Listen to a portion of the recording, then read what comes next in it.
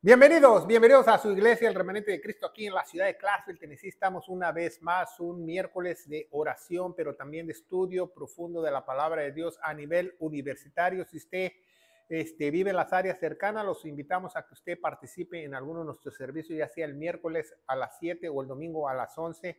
Estamos ubicados en el 10 Main Street de la ciudad de Clarksville.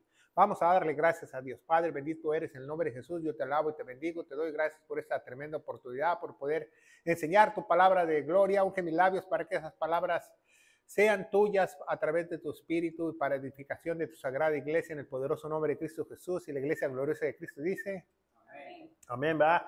Si usted no está viendo por primera o segunda vez en YouTube, tenemos carpetas de estudio con más de 850 videos para la gloria de Dios. No queremos engrandecer el nombre de este ministerio, sino el, el, queremos engrandecer el nombre de nuestro Señor Jesucristo. Todo lo que hacemos aquí es para exaltar su nombre, ¿va? Y tenemos esos videos para que usted pueda estudiar diligentemente, compártalos, denles eh, like para que esos algoritmos puedan llegar a otras personas. También tengo que hacer la acotación, nosotros usamos la Reina Valera 1602, la purificada. Si usted escucha cuando estamos leyendo que es algo diferente a su Biblia 60, 1960 o nueva versión internacional, porque nosotros tenemos esta versión más apegada al original, ¿verdad? Y hoy tenemos un tema muy importante, ¿verdad? Hoy vamos a hablar de la piedra angular.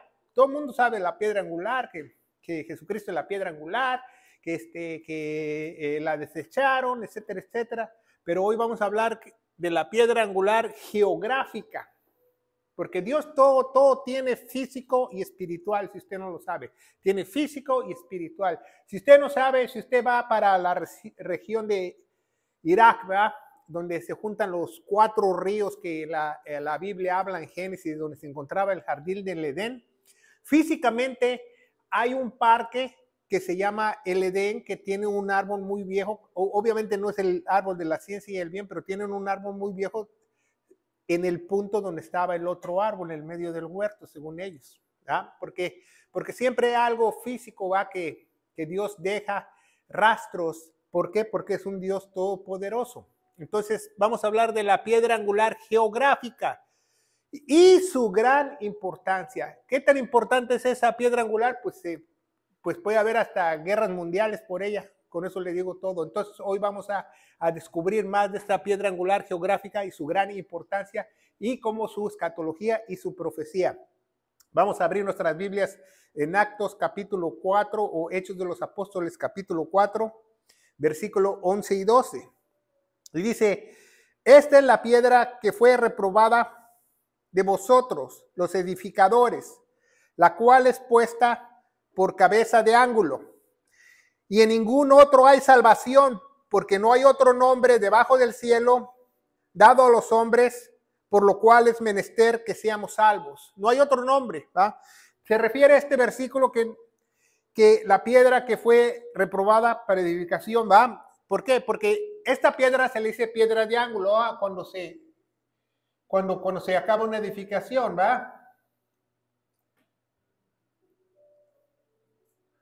Pero también se le dice a esta, cuando se empieza un edificio, los masones o las personas que trabajan en, la construcción o los ladrilleros, como usted le diga, conseguían la piedra más perfecta, más derecha y más grande para ponerle en un edificio como esquina. Entonces ellos decían que era su corner stone o su piedra de esquina o, de, su piedra angular, pero también este, se utiliza también para cabeza de ángulo. ¿verdad? Esta es cabeza de ángulo. Yo no sé si usted ha visto los garages modernos que le ponen una decoración en medio del tabique. Esa es una piedra de ángulo. Se supone en las edificaciones viejas los masones tendían a, poner muchas de estas, ¿verdad? Vamos a ver Efesios 2.19, Efesios 2.19, la palabra de Dios. Dice 19 al 21, dice, así que ya no seis avenizados y extranjeros, sino conciudadanos de los santos y familia de Dios, edificados sobre el fundamento de los apóstoles y profetas, Jesucristo mismo siendo la principal piedra de ángulo, el cual todo él edificó bien trabajado consigo mismo, carece para ser ejemplo santo en el Señor. Entonces, aquí dice la Biblia en el 21 que el cual todo él, el cual todo él edificó, el cual todo él edificó. Entonces, en Hebreos nos dice que él crió todas las cosas para él del mundo. Y también, ¿verdad? En Filipenses dice que él crió las cosas que hay en el mundo y son de él y para él, él las crió. Entonces, si él las crió, debe de haber una piedra angular geográfica, ¿no? Porque cuando empezó el mundo tuvo que poner la primera piedra, la cornerstone, la piedra angular o la piedra, la piedra de esquina para hacer el, mundo en donde, en donde, nosotros vivimos, ¿va? Y lo vamos a ver más adelante, ¿va? Entonces vamos a ver ah, que la piedra no es Pedro, ¿va? Como muchos piensan, ¿va? Porque muchos dicen que este, sobre esta roca yo edificaré mi iglesia y bla, bla, bla, pero no, es un versículo aislado en Mateo 16 y de Mateo no podemos sacar mucha doctrina porque eh, muchas de las cosas en Mateo son para los israelitas porque Jesús vino por las ovejas perdidas de la casa de Israel. Entonces, Mateo 16 está hablando este, el Señor a Pedro, va, dice Mateo 16, 18, dice, y yo y yo también te digo que tú eres Pedro. Pedro significa este, piedra, no roca, piedra. Pedro significa, ¿qué? Pedro significa piedra. No significa roca en primera, ¿va? Si tú sabes leer este, en hebreo eh, o, cómo Dios lo apodó a esta, esta, persona, su nombre era Cefas, pero él le dijo, tú vas a hacer ahora una piedra, porque, ¿por qué le puso una piedra? Porque tenía un carácter de piedra, ¿ah? Tenía, este, era, era cabezadura, entonces el Señor lo llama así, este, piedra. Dice, bienaventurado eres Simón, hijo de Jonás, porque no te lo reveló carne ni sangre, sino mi Padre que está en el cielo. Y yo también te digo, 18, que tú eres Pedro. Y sobre esta roca, dice, y sobre, coma, y sobre esta roca, no está hablando que Pedro es la roca, está hablando que Jesús es la roca. Dice, sobre esta roca que soy yo, yo soy, yo soy este, la piedra angular, yo soy la piedra de ángulo, yo soy el esquinero de la fundación. Dice en Efesios que él puso a los apóstoles y profetas como fundación. Por eso ya no podemos tener apóstoles ni profetas, porque más adelante en la Biblia, usted puede leer en la Biblia o usted lo puede buscar que dice, nadie puede poner otra fundación que la que puso nuestro Señor Jesucristo. Y en Efesios 2.20 nos dice que puso a los apóstoles y a los profetas. Entonces vemos que Pedro significa piedra, no significa roca. Y dice, yo soy, yo soy, porque dice, yo soy el pan, yo soy el vino, yo soy la puerta, yo soy el redil, yo soy el camino, yo soy la verdad, yo soy la vida, yo soy la roca. ¿Entiende? Y dice, y dice la Biblia ya, y te digo que, y sobre esta roca edificaré mi iglesia, las puertas del infierno no permanecerán contra ella. ¿ah? La, la iglesia del Señor, la, el Señor las va a guardar porque la prometió. ¿va? Un día vamos a estudiar más este, las Sagradas Escrituras en el Antiguo Testamento, cómo nos enseña la sombra de lo que va a pasar en el Nuevo Testamento, que es maravilloso, cómo, cómo por ejemplo, eh, muchos no leen la historia de Jacobo, que eh, Jacobo siendo un tramposo, traidor, jugador, usurpador, este, trató de negociar con Dios, hasta la, pierna le rompió, y, y aún así dijo que lo iba a proteger y salvar y su descendencia iba a ser como la arena. ¿Por qué? Porque Dios es fiel a sus promesas, no por la bonita cara de Jacob. ¿Se fija? Entonces vemos que como Dios lo que promete, Él cumple, ¿verdad? No importando lo que Él diga, ¿va? Entonces vamos a ver, aquí, aquí pongo a Dios, ¿va? Primera de Pedro, primera de Pedro, capítulo 2, primera de Pedro, capítulo 2, versículo 7 y 8, ¿va? Dice, y para vosotros, pues que creéis que es precioso, para los desobedientes, la piedra que los edificadores reprobaron, esta fue hecha cabeza de ángulo y piedra de tropiezo y roca de escándalo aquellos que tropiezan en la palabra siendo desobedientes a lo que también fueron ordenados. Entonces, Dios dice que la piedra de él es es tropezadero también. ¿Se fija? Entonces, dice que la piedra que desecharon como esquinero ahora es piedra de ángulo. O sea, él, comenzó todo y terminó todo. Él comenzó todo y terminó todo. ¿Se fija? Entonces dice que toda rodilla se doblará en la Biblia, nos dice en Filipenses y en otras partes de la Biblia que toda rodilla se doblará en el poderoso nombre de nuestro Señor Jesucristo. ¿Por qué? Porque cuando alguien camina y pisa una piedra que está angular, ¿qué va a pasar con esa piedra? Se va a tropezar y va a caer de qué? Rodillas, ¿se fija? Por eso él es la piedra. O me gusta mucho cómo dice en inglés este pasaje, dice Stumble Rock. Stumble Rock. Stumble Rock es una roca que no está estable, porque cuando pisas una piedra angular, ¡uh! haz de cuenta que está en el, en el vado, en el río, y pisas esa piedra y vas para abajo, ¿va? Y toda rodilla se va a doblar, ¿va? Entonces es muy importante que usted sepa eso, ¿va? Ya vimos que eh, Pedro no es la roca, entonces vamos a ver este, cómo desecharon ellos la la roca en Jeremías 51, nosotros podemos ver cómo ya estaba profetizado, ya estaba profetizado muchísimos años antes de que, antes de que este, los israelitas desecharan a nuestro Señor Jesucristo. En Jeremías 51, vamos a ver qué dice el profeta Llorón, se le llama el profeta Llorón porque nadie lo escuchaba, todo el mundo lo ignoraba.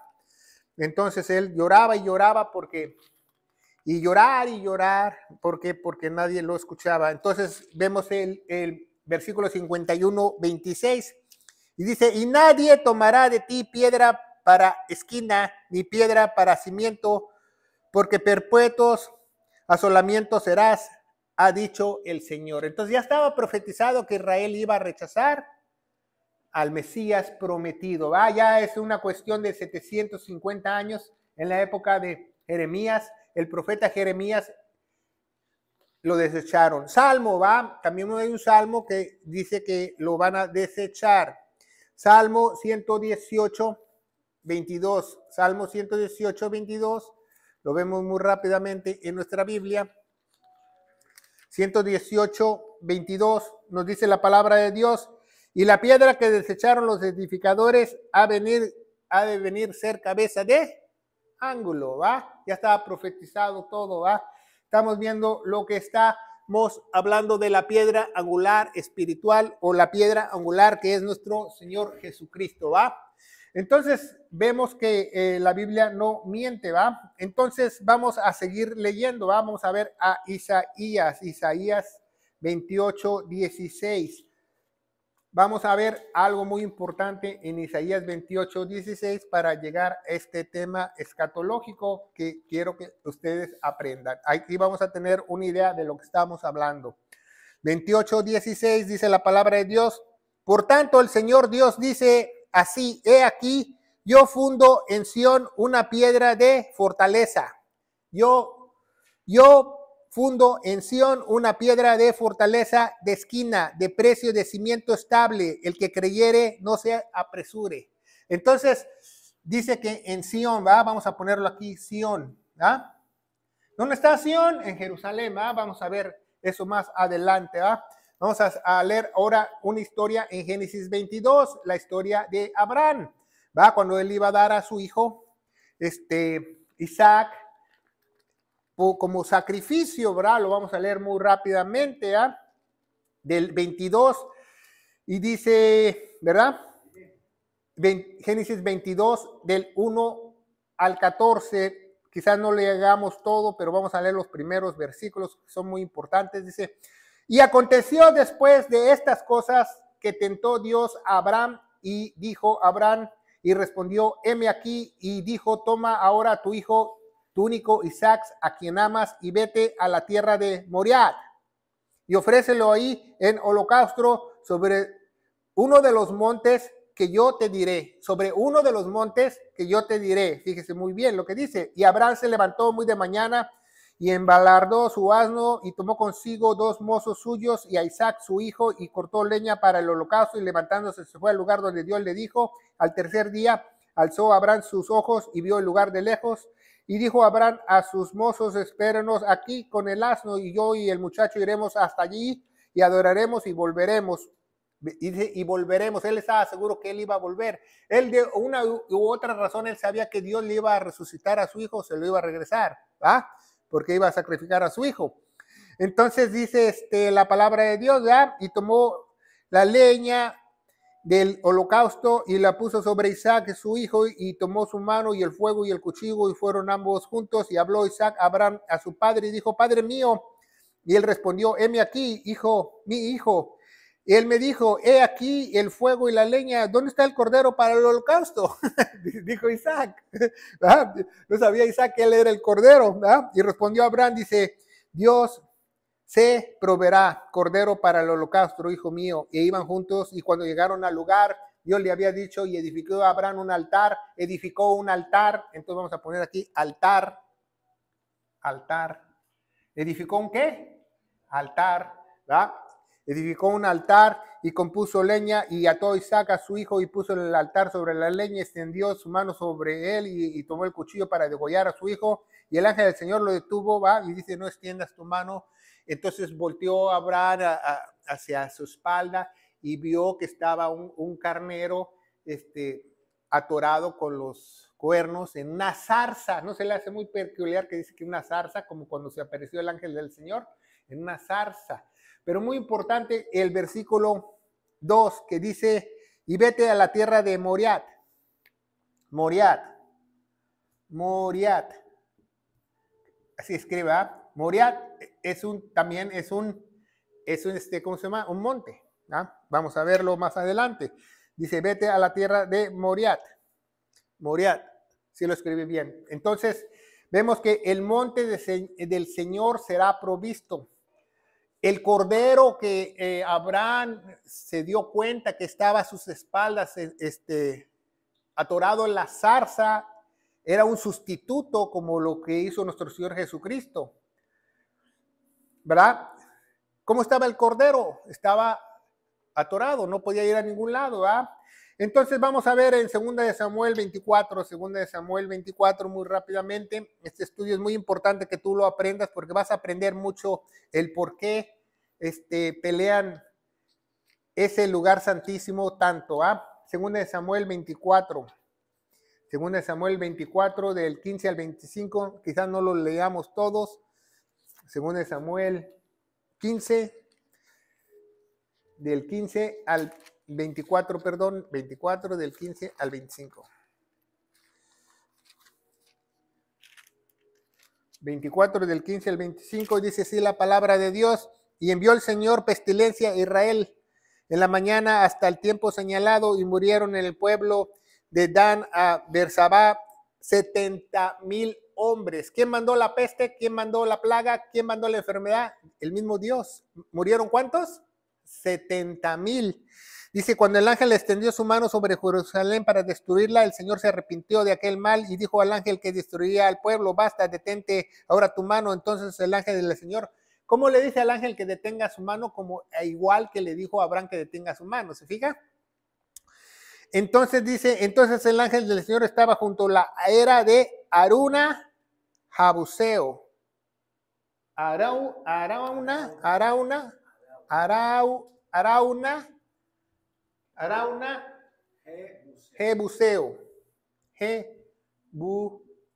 Es muy importante estos nombres. Sion, Morán, Morán, Jebuseo. ¿verdad? Entonces, este, eh, David va, negoció con Dios y dijo, Dios, este, yo sé que yo pequé, este, destruyeme a mí, no, no destruyas a Israel, este, mira Jerusalén con ojos de misericordia, mira, ya has matado 70 mil en el reino, este, llévame a mí, llévame a mi descendencia, llévame en parentela, pero Dios no podía hacer eso porque Dios había pactado con David y le había dicho que su reino iba a permanecer, ¿right? ¿Correcto? Entonces Dios él va a Arauna, Jebuseo, y lidia con un pastor y le compra todo su terreno, le compra todo su terreno, todo su terreno le compra y todo su ganado para ofrecerle un cordero al Señor. Y el Señor perdona a todo Israel por un cordero. Por un cordero en esta historia fabulosa. ¿ah? Y dice este, hasta el 25, ¿ah? y edificó ahí David un altar. ¿Edificó qué? Un altar, ¿verdad? El 25. Al Señor y sacrificó holocaustos y, pacíficos, ¿va? De ofrendas de paz, y el Señor se aplacó con la tierra y cesó la plaga de Israel. Y llegó la plaga de Israel, ¿ok? Es muy importante que tú aprendas este lugar geográfico, este lugar geográfico, este lugar geográfico, porque hoy vas a saber dónde está la piedra angular geográfica. Cuando Dios hizo toda la creación, tuvo que poner una, una piedra angular para comenzar toda la creación. ¿Va? Y seguimos adelante en Segunda de Crónicas, Segunda de Crónicas, ¿va? Este estudio está muy interesante, ¿va? Segunda de Crónicas 3.1. Segunda de Crónicas 3.1 nos dice la palabra de Dios. Y comenzó Salomón a edificar la casa del Señor en Jerusalén, en el monte Moriah. ¿En dónde? En el monte Moriah. ¿En dónde estaba el templo? En el monte Moriah. Y había sido mostrado a David, su padre, el lugar que había prestado en la era de Oram de Jebuseo. Oram de Jebuseo. Entonces, el monte Moriah es el mismo que Auruna de Jebuseo. ¿Se fija? Y es el mismo Monte Sión. Lo vamos a ver más adelante. Son nombres que se usaron en el pasado, pero es el mismo lugar geográfico y es el mismo altar y es la misma piedra. Entonces vamos a seguir adelante. Dice Levítico 17, 11 que la vida de la carne está en la sangre y esta yo se las he os dado a ustedes para que ustedes puedan expiar su alma. Entonces en este, en este altar de Sión, de Moriah, de Orá, que es el mismo lugar donde se edificó el gran templo, ahí han hecho miles y miles y miles de sacrificios, si usted no lo sabe. ¿Sabía eso? Entonces, este, seguimos adelante. ¿ah? Entonces, este, el sacrificio es porque reconocemos nuestros pecados y, dañamos la, creación de Dios por el pecado. Entonces, el animal debe pagar por mi culpa y por mi, este, por mi redención temporal. Eh, cada año se hacía este, la fiesta del perdón, el Yom Kippur, y, mataban un animal y llevaban la sangre al lugar santísimo para que Dios perdonara los pecados del pueblo de Israel. ¿va? Entonces vamos a ver que ese templo de Salomón lo destruyeron, va. E, Esdras, Esdras. Vamos a Esdras. Esdras capítulo 6, versículo, bueno, el 1, capítulo 1 dice, y en el primer año de Ciro, el rey de Persia, para cumplirse la palabra del Señor con la boca de Jeremías, ex, citó el Señor el espíritu de Ciro, el rey de Persia, el cual hizo pasar el pregón de todo el reino que también escrito diciendo, así ha dicho Ciro, el rey de Persia, el Señor Dios del cielo me ha dado todos los reinos de la tierra, me ha mandado que edifique la casa en Jerusalén que estaba en Judá. Esdras 1, 1 y 2. Vamos a ver Esdras 6. Esdras capítulo 6, ahí mismo va. No, 1, 1 y 2. Ahora vamos a leer Esdras capítulo 6. Capítulo 6, versículo del 3 al 7. Y dice la palabra de Dios, en el primer año del Ciro, el mismo rey Ciro, mandamiento acerca de la casa de Dios que estaba en Jerusalén, que fuese la casa edificada, el lugar para que sacrifiquen los sacrificios y las paredes fueran cubiertas, los muros fueran restaurados, y soltura de 70 codos, 70 codos de anchura, las órdenes de la de piedra de mármol y una orden de madera nueva, ¿verdad? Y ya sé lo que gastó y etcétera, etcétera. Y dice, dice el 7, es muy importante que lo leamos, dice, deja la obra de la casa de este Dios al principal de los judíos y a sus ancianos para que edifiquen la casa de Dios en su lugar, en su lugar, exactamente donde estaba el, templo de Salomón, en el monte Sión, en el monte Moriat o en el monte Arúa, Jebuseo. exactamente en el mismo lugar. El, mismo rey de Ciro, Dios le inspiró que lo pusieran ahí el templo de nuevo. ¿ah? Dice, ya lo vimos, va, el mismo lugar, reconstruyeron el templo, el propiciatorio y el altar, ¿va? Entonces, Josefo va en sus libros de, ah, de historias, va, nos dice que él empieza, Herodes empieza a engrandecer el templo, va, y el mayor este, ah, evento trágico para Israel fue en el año 66, cuando comenzó la guerra con el general Tito, y en el año 70, cuando fue destruido el templo. ¿va? Vamos a hablar más adelante. Entonces, el corazón del alma de Jacob es Jerusalén. ¿va? Entonces, seguimos adelante. Ok, otra.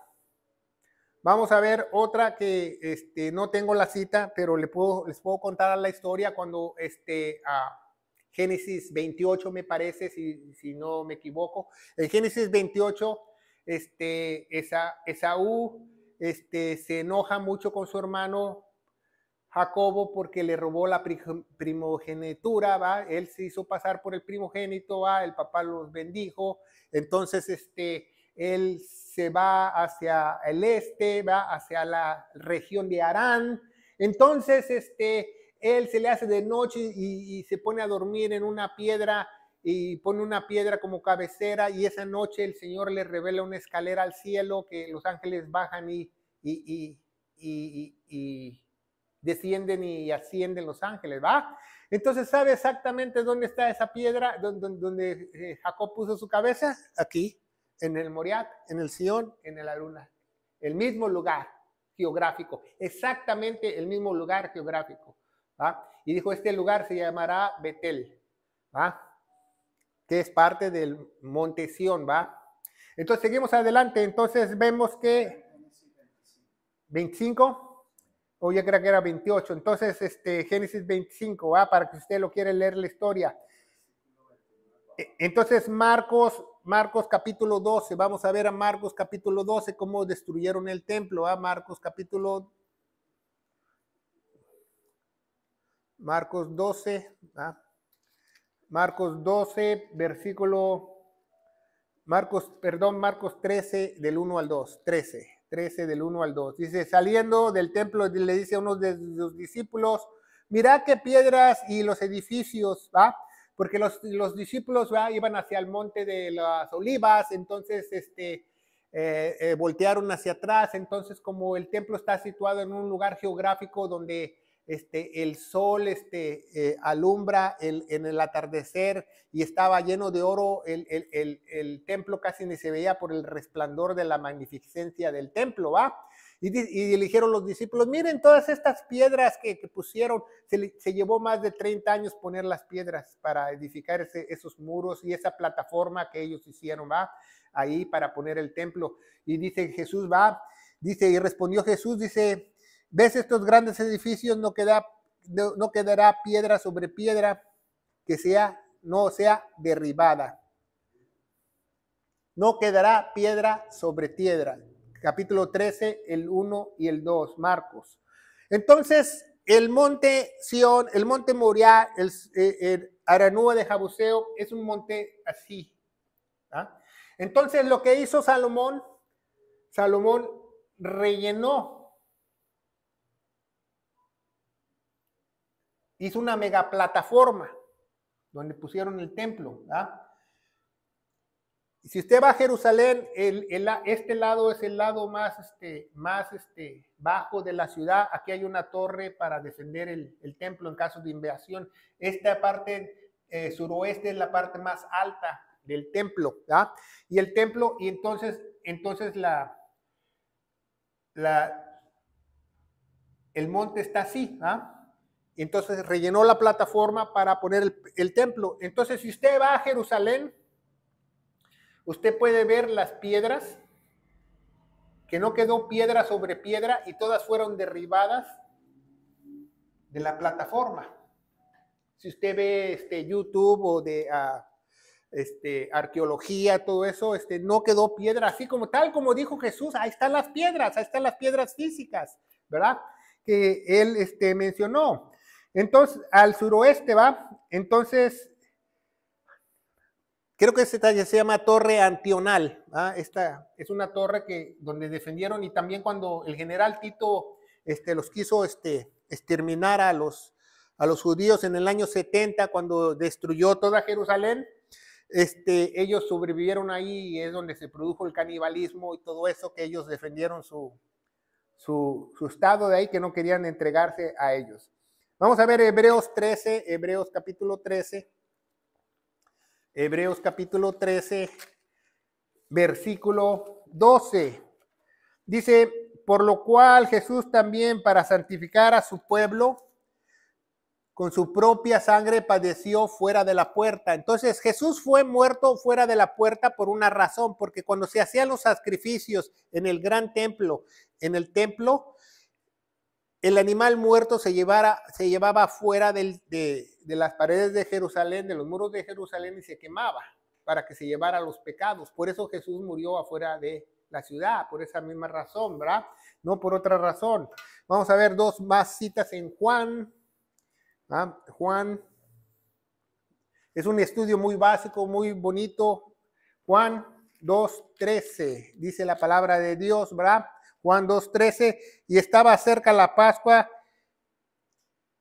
de los judíos y subió Jesús a Jerusalén. Ese es un dicho judío para todos los judíos. Subió, subió, subió a Jerusalén. ¿Por qué? Porque el templo tenía escaleras, ¿verdad? El templo tenía muchas escaleras así.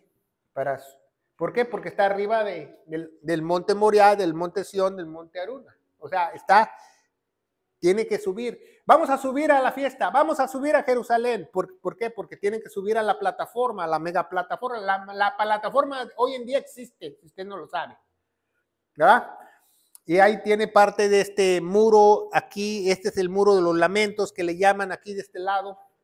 Entonces vemos Juan 1.29, ¿verdad? Juan 1.29.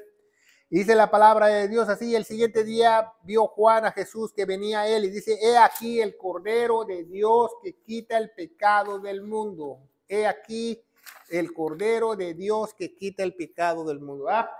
Tenemos otras citas, ¿va? Vamos a ver a Job 38 del 4 al 6. Job.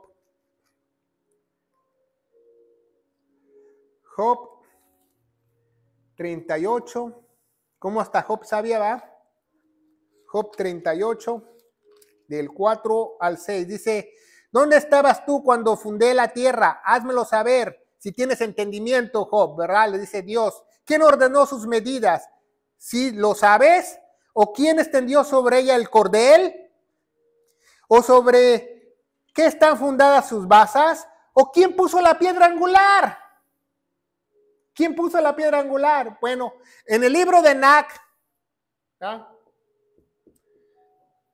En los viajes de NAC se le llama esa parte, va, porque tiene varios libros. En tiene, tiene los vigilantes, eh, tiene este, es este, Job 38 del 4 al 6. Job 38 del 4 al 6. Entonces, Enac tiene un libro que se llama Los viajes de Enac. Dice que el mismo Dios puso esta piedra angular, esta roca. ¿Sabía eso? Que el mismo Dios, cuando fundó la tierra, esta fue la piedra angular para crear toda la creación del, globo terráqueo. El libro de Nac, en el Michat.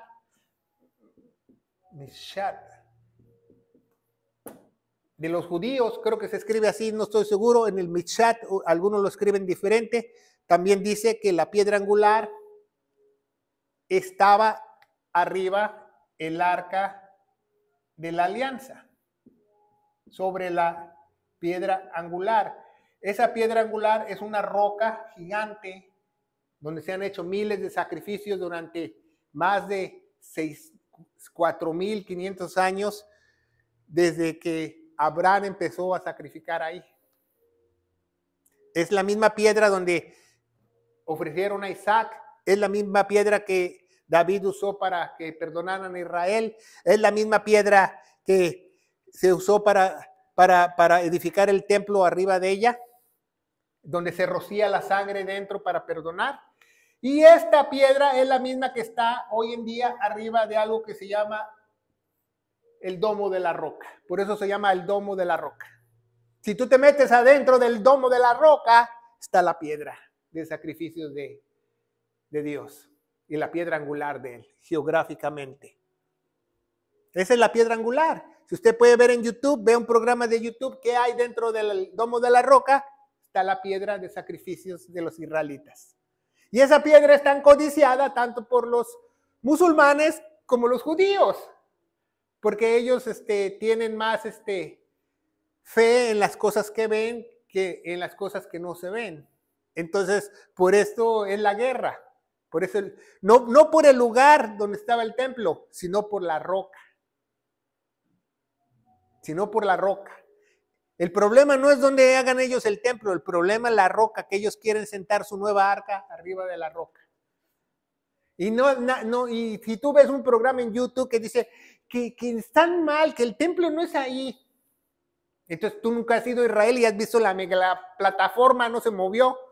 La mega plataforma sigue siendo la mega plataforma y la piedra de sacrificio sigue siendo la de Abraham, la de David y la de todo mundo de Estras y de Salomón, etcétera, etcétera. Es la misma piedra angular, la misma roca. Es cuando Dios, dice el libro de Nag en su libro de los viajes, que él cuando hizo el mundo, separó las tinieblas con la luz, él puso la roca ahí para edificar la tierra.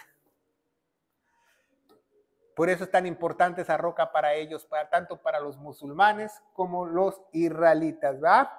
Entonces vemos que por eso les dicen el domo la roca, porque está la piedra de sacrificios de la roca, no por otra cosa.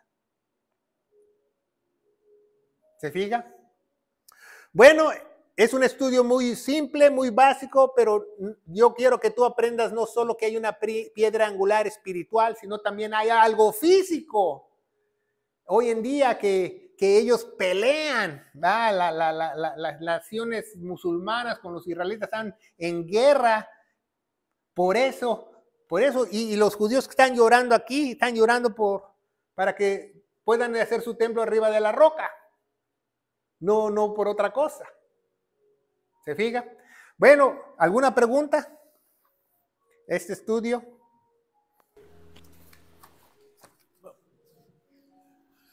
Pastor, una pregunta. Este, cuando que viene el rapto, la tribulación, viene el milenio, ¿verdad?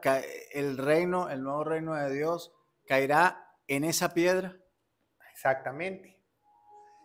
Dice que se va va a parar en el monte de los olivas, otro monte que está aquí, y la tierra se va a partir en dos, se va a hacer una área geográfica, pero la roca va a estar ahí. Y yo creo que el trono de nuestro Dios Jesucristo va a estar en la roca, pero también Satanás se va a sentar en esa roca, si usted no lo sabe. Eso es lo que llaman la... Satanás se va a usurpar el lugar de Dios y hacerse llamar Dios y se va a sentar en un trono arriba de esa roca igual. Por eso es muy importante y, se ha perseverado por miles y miles de años esa roca, porque tiene un, un propósito profético. ¿Alguna otra pregunta? Vamos a darle gracias a Dios. Padre, bendito eres en el nombre de Jesús. Yo te alabo y te bendigo. ahora sabemos, ¿verdad? Ahora sabemos que hay una piedra angular espiritual que es nuestro Señor Jesucristo que la cual los judíos la desecharon y es tropezadero de muchos y que toda rodilla se doblará por esa roca, va, esa, esa piedra angular, pero también sabemos que hay una roca física que el mismo Señor la puso cuando hizo esta creación. Yo te doy gracias por este estudio en el poderoso nombre de Cristo Jesús y la iglesia gloriosa de Cristo dice, que Dios los bendiga.